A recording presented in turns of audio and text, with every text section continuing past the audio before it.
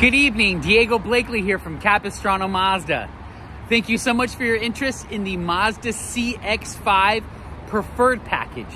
We currently do have one in stock and we do have a few more on their way to our dealership.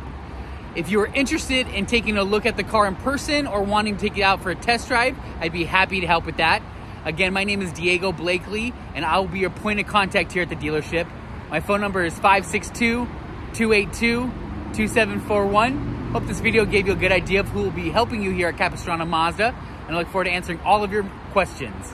Have a great evening.